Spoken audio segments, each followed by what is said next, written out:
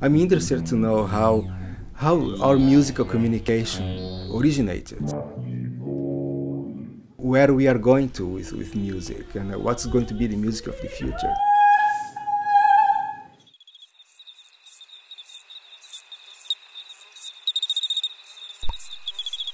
Uh. Uh. Uh.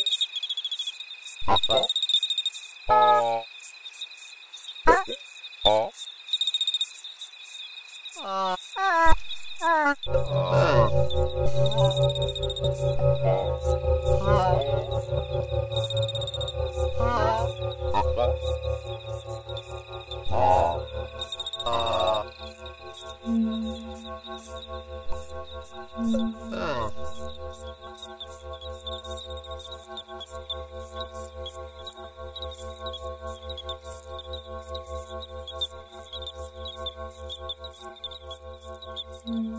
When I came across uh, the work of David Peterson, I, I, it just blew up my mind. So wow, that is the right person to, to collaborate because you know here is someone who actually knows the mechanisms for, for developing new languages.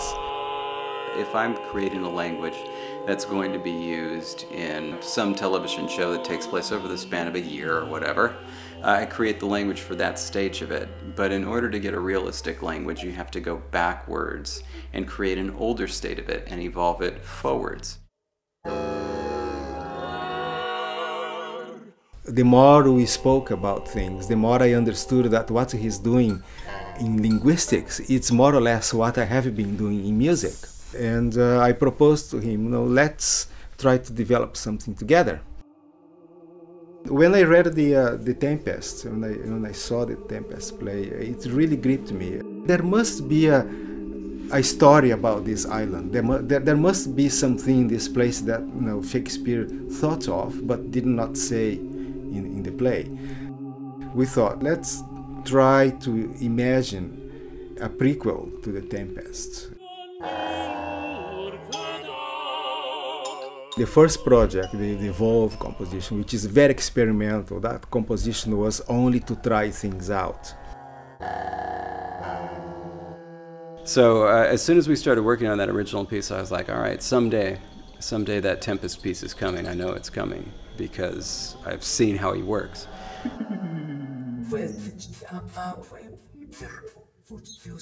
and he, of course, um, he developed the language to refer to things in the in the Lampedusa island, you know, the, to refer to the story of, of the opera.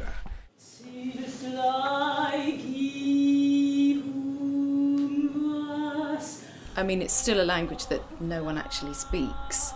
Um, so the process of learning it was mainly um, repetition upon repetition. Um, but because it had a lovely flow to it, that made it easier to get into whilst working with the singers, whether working with the performers, they were the ones that were very, very clear. We are very used to singing Italian, singing French, singing German, so to add another language to the repertoire, it just feels like there is another possibility to find another rhythm, another sense of musicality. And when we listen to what they're doing, uh, it's, a, it's an amazing delivery.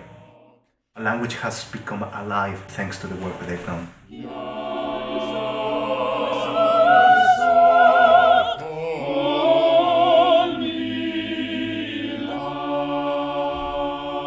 So it's an opera, so we have a choir, we have a dancer, we have two soloists. The visuals are in a way complementing everything. Each act is kind of a short film. The other element is the top projection, so we've got seasonal elements, lightning, water, and sun rays.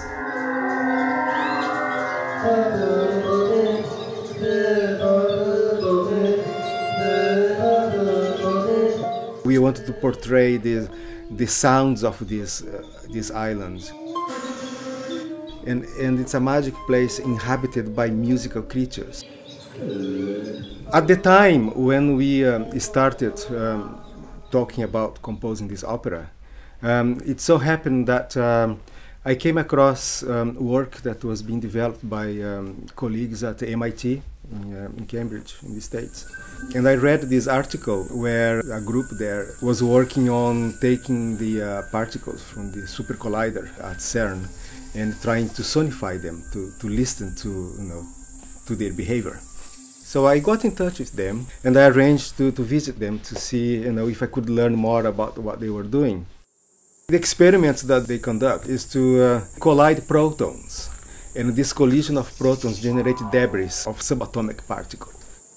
Know, we started collaborating on this and I further developed their methodology. Instead of only making sounds with the particles, I devised methods to translate the, um, the parameters of these particles into musical uh, data.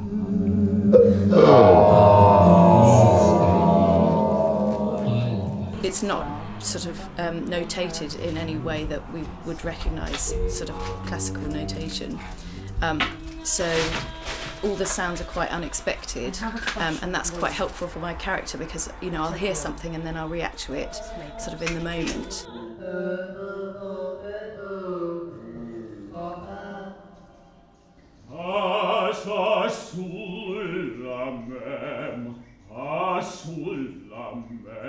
It reflects the, the character of, of Caliban, who in, in this particular uh, story is, is a teenager.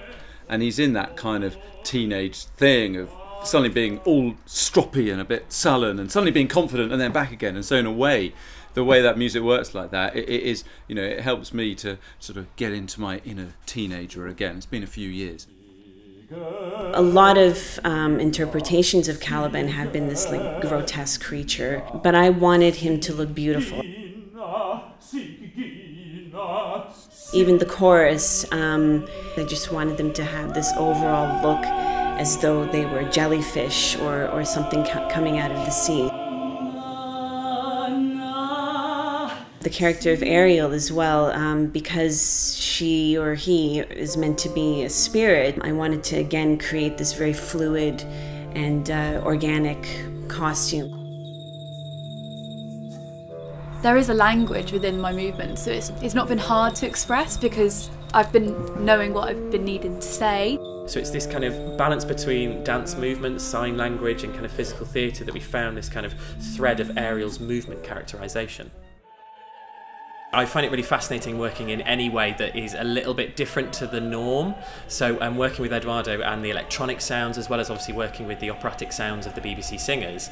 That collaboration between the two created something really fruitful. So we are developing research towards new musical languages, new technologies for making music, new ways of looking into how music can be created. Thank you. You read our mind.